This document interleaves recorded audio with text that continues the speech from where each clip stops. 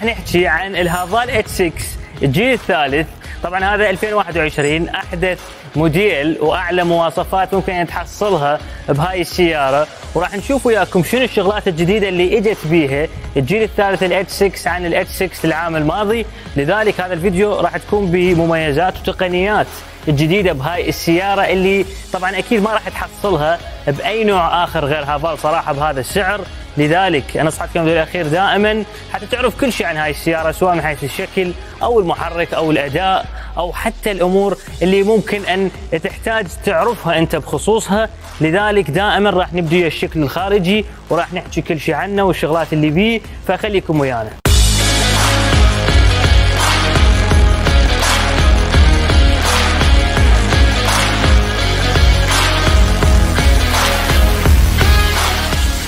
طبعا شكل السيارة تشوفون أول شيء الشبك الأمامي صراحة يعطيها شكل عصري وفخامة مثل ما معروفات سيارات هافال اللي طبعا شفتوني حكيت عن ال Jolion قبلها والآن هذا ال H 6 شوفوا الشبك يعني أنيق جدا مثل ما تلاحظونه كبير ونلاحظ هاي الكاميرا الموجودة بي وهذا شعار هافال هاي الكاميرا اللي مستخدمة الكاميرا الأمامية طبعا اللي تستخدم بال 360 درجة اللي راح نحكي عليها بعدين التقنيات الموجودة بها شوفون هذه الحساسات كاملة ذكرت بين هذه السيارة مواصفات full يعني كامل المواصفات راح تحصلها.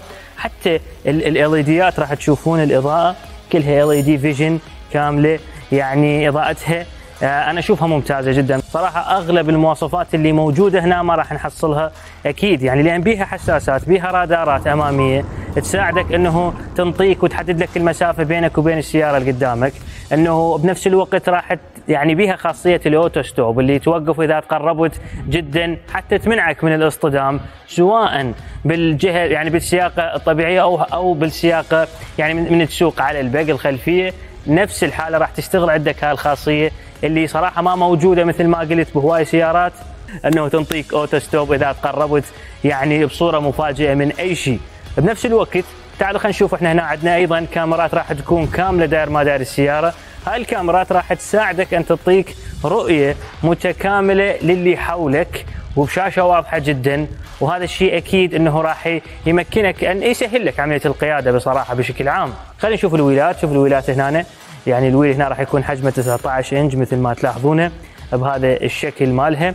أنا أشوف السيارة أنيقة بصراحة شكل من الخارج أشوفها جدا أنيقة. وحتى إذا تجي وتشوف الباب هنا الباب فتح ذكي بيها يكون عن طريق البصمة مثل ما نلاحظه. وبنفس الحالة راح تكون أكو عندك البانوراما بالأعلى راح تكون.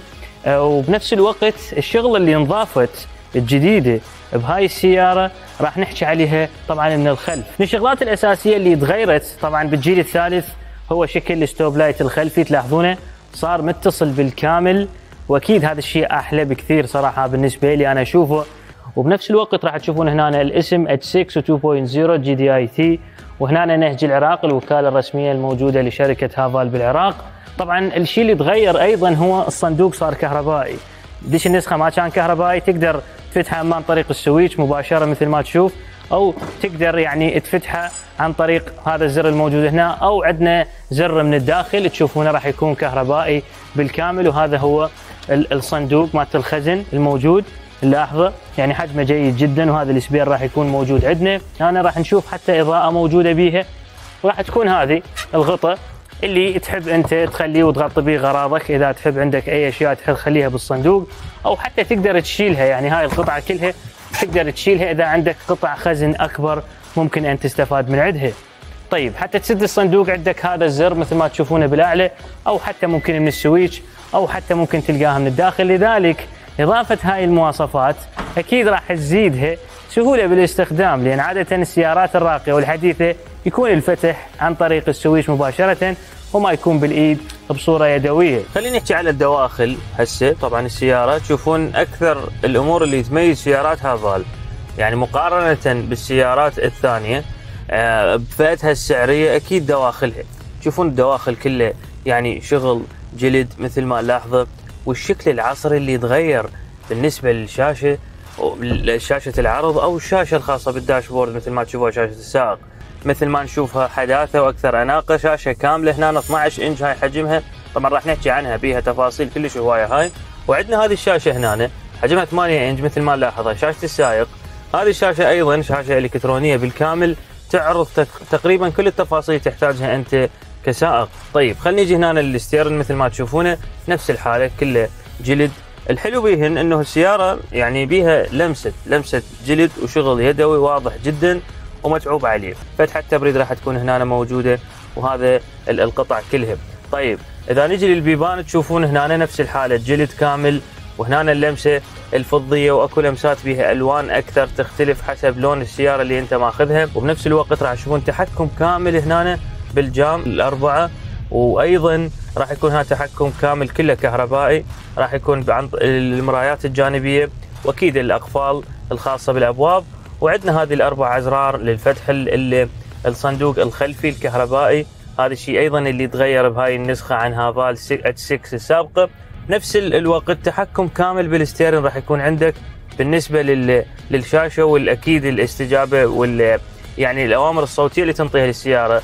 أكيد هنا التحكم بالوسائط عندك من حيث الصوت والتنقل ويكون عندك هنا راح يكون عندك التحكم بالسرعة. هنا أنت تريد مثبت السرعة العفو. وبنفس الوقت تقدر أنت تحدد المسافة اللي بتكون بينك وبين السيارة اللي قبالك راح تكون كلها طبعا هنا تقدر أنت تحددها حتى ما تحصل على أي alarm ات طبعا خلينا نشوف هنا عندنا بالوسط شوفوها إنه هذا القاطع راح يكون بالكامل متصل مثل ما نلاحظه وبنفس الوقت بالنسبة لل gear راح يكون هذا ال gear الفرار الماوس مثل ما نسميه هنا راح تكون عندنا مناطق خزن. يعني هنا راح يكون عندنا شاحن wireless تخلي موبايلك إذا يدعم الشحن ال wireless يبدي يشحن. عندك مناطق خزن بالأسفل. وبعد شنو عندنا هنا؟ أكيد هذه منطقة الخزن راح تكون عندنا هنا منطقة حجمها جدا ممتاز راح تقدر تحفظ به كل شغلاتك. طيب خلينا نحكي على شغلة مهمة هي شغلة التبريد. وهذا عامل كلش مهم بالسيارة عندنا بالأخص. التبريد حسب التجربة بهاي السيارة. صار لها يومين تقريبا السياره عندي. تبريدها بصراحة ممتاز جدا مقارنة بدرجه الحرارة الموجودة بالوقت الحالي. وتعرفون إحنا عد أنا عندي لها فال جوليان يعني تبريدها بأقوى درجات الحرارة يعتبر أنا أشوفها ممتاز جدا. هنا أنا نفس الحالة. صح درجة الحرارة بالفترة الحاليه شوي بالبصرة أقل من الخمسينات بالأيام اللي فاتت. آه لكن يعني أنا اشوفه جيد جدا بالنسبة للتبريد. ويعني ما يفصل المحرك 2000 تيربو يعني ف يعني أشوف الحمل مال الكمبرسر على المحرك ما فصل عندي نهائيا. بدرجات الحرارة حسب استخدامي لأن أي شخص أكيد لازم يسأل على التبريد.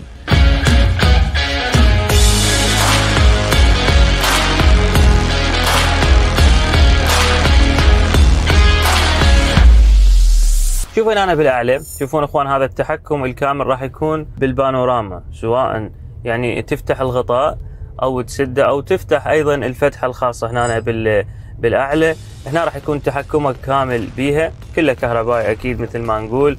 فلذلك تشوفون أخوان السيارة مواصفاتها يعني فول مواصفات إحنا نسميها كل شيء بيها كهربائي. للعلم حتى الكشنات الأمامي والتحكم به راح يكون كهربائي بالكامل يعني مو يدوي أو عتلة. بالنسبة لهاي السيارة. طيب خلينا نجي هسه للأهم اللي هو طبعا هاي الشاشة. هاي الشاشة بيها تقريبا يعني كل التفاصيل اللي تحتاجها أنت بالنسبة للسيارة. على سبيل المثال بالنسبة للقيادة شوفون وضعية القيادة وضعية التوجيه المتعدد. هنا شنو تريد أنت؟ تريده رياضي تريده مريح؟ يعني هذه بالنسبة تشوفون وضعية القيادة بشكل عام؟ هذا اقتصادي. يعني هنا حتى يشغل لك الإيكو عندك هنا بهاي الشاشة. هنا سبورت يشغل لك الرياضي. مثل ما نلاحظه وبنفس الوقت هنا قياسي أو ثلوج. للعلم أخوان هاي السيارة مو دفع رباعي تكون دفعها ثنائي تو مثل ما نشوف. تجي بيها دفع رباعي بس ما موجودة صراحة هنا. عندنا تجي فقط دفع ثنائي هنا. بس بيها هاي خاصية الثلوج أو القياسي اللي تقدر أنت تستخدمها. نفس الوقت هنا القيادة الذكية راح تنطيك كل الخيارات اللي أنت تحتاجها. بالنسبة للإعدادات حتى تساعدك بالقيادة الذكية. القياده الذكيه شنو إخوان هذه مثلا مثلا إنه أنت يعني بسبب التقنية والتكنولوجيا الموجودة بها إذا جاي السوق أول شيء تساعدك أن ما تخرج من المسار. يعني إنه إذا طلعت من المسار راح ترجعك بنفس الوقت راح تنطيك أنت تتحكم بال يعني بالمسافة اللي تكون بينك عن طريق الرادارات بينك وبين السيارة اللي قدامك حتى السيارة تخفف. يعني مثل ما أعرف إنه هاي السيارة بها هاي الخاصية يعني تخفف السرعة حتى تحافظ على مسافة أمام بينك وبين السيارة اللي أمامك. تشوفون هنا كل الخيارات موجودة النقاط العمياء كل شيء راح تقدر أنت يعني تفعلها. نفس الوقت هاي الرادارات راح تقرأ لافتات المرور بالنسبة للسرعة. أو أي شيء وراح تبي تعرض لك إياها بهذه الشاشة الخاصة عندك أنت مال سائق. وبالتالي بنفس الوقت تقدر تحدد الإنذار. إذا اجتازيت السرعة مثلا تقرأ سرعة 80 هنا راح تقرأها لك 80 إذا كان سرعتك أكثر راح تقول لك بأنه أنت over speed وممكن أن تعرض نفسك إلى غرامات. صراحة بيها تقنيات محترمة جدا جدا. شوفوا إخوان شغلة هذا الزر تضغط عليه راح يحولك على الكاميرا ل 360 درجة الموجودة طبعا بهاي السيارة. شوفوا إخوان أنا هذه الشغلات من أهم الشغلات اللي أنا حبيتها صراحة بسيارة جولان هي دقة الصورة شوفوا. طبعا هذه اولا هذه 360 درجة شوف تقدر تحولها 3 دي. شوف هاي الصورة اللي موجودة عندك هاي السيارة أنا حاليا وبالضبط هاي السيارات اللي يمي واقفة. فهاي الصورة 360 أكيد راح تساعدك بعملية القيادة. تقدر ترجعها ثنائية وتقدر تختار الكاميرا اللي أنت تريدها حسب ما مثل ما تلاحظون.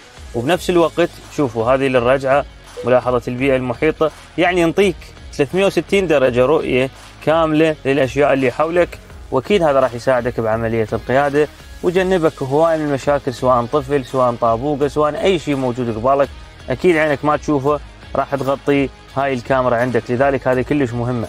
شوف إخوان أكو شغلة من أهم الأمور اللي ممكن أن تستفاد منها أنت بهاي السيارة وتشوف التقنية هنا شلون تتحكم بيها. اولا هي إمكانية الركن التلقائي انضافت بشكل كامل لهاي النسخة.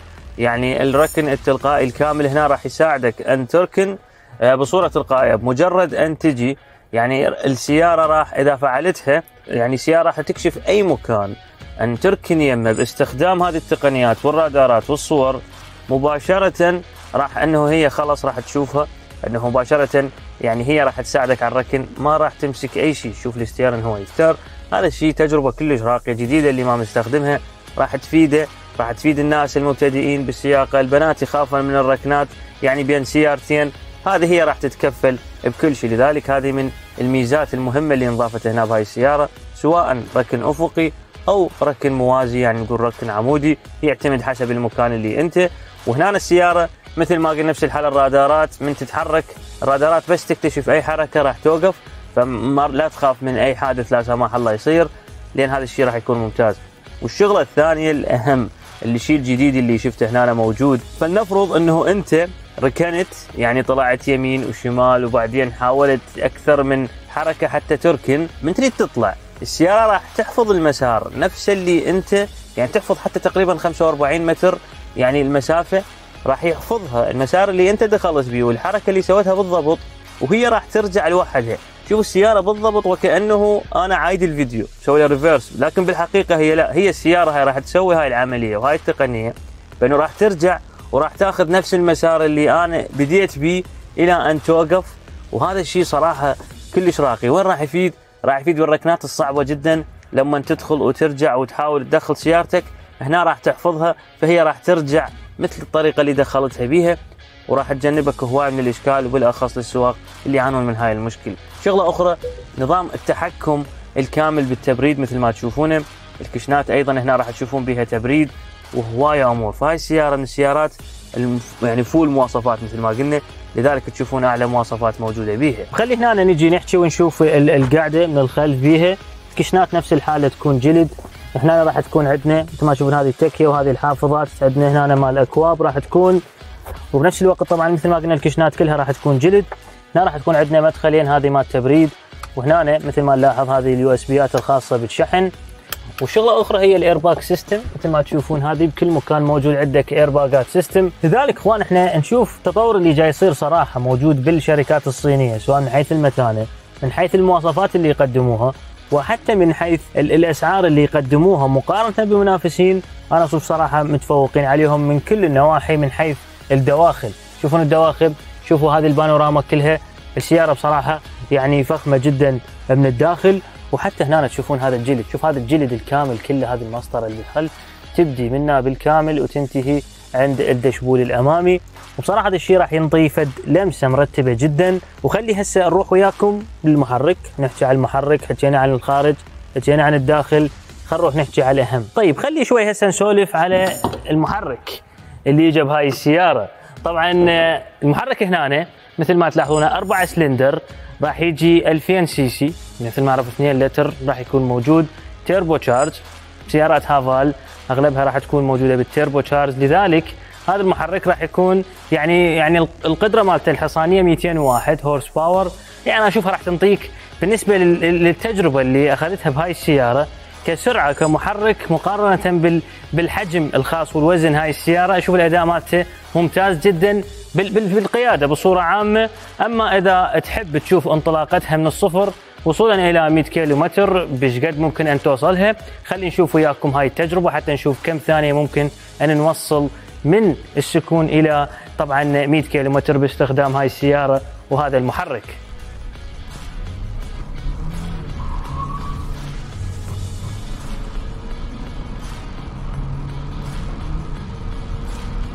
طبعا شفنا وياكم أنه انطلاقة هاي السيارة للعلم. أكيد السيارة هي مو سيارة سرعة ولا سيارة سباق السيارة هي سيارة SUV تقدر تستخدمها سيارة عائلية بالطرق الداخلية وحتى السفر براحتك تقدر تستخدمها.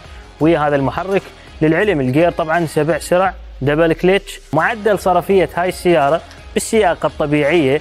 يعني عادة يعني تقريبا 7 إلى 8 لتر لكل 100 كيلو. لذلك ممكن أن تمشيك هاي السيارة أكثر من 800 كيلو إذا كانت سياقتك مثالية لكن أكيد مثل ما قلنا إنه هذا الشيء يعتمد حسب السياقة وحسب يعني ظروف متغيرة وبالنسبة أكيد لهاي السيارة. فإن شاء الله عجبكم هذا الفيديو أتمنى غطيت كل المميزات والتقنيات اللي إجت بها هاي السيارة. بالنهاية طبعا أحب أشكركم وأشكر متابعتكم. نلتقي بالفيديو القادم.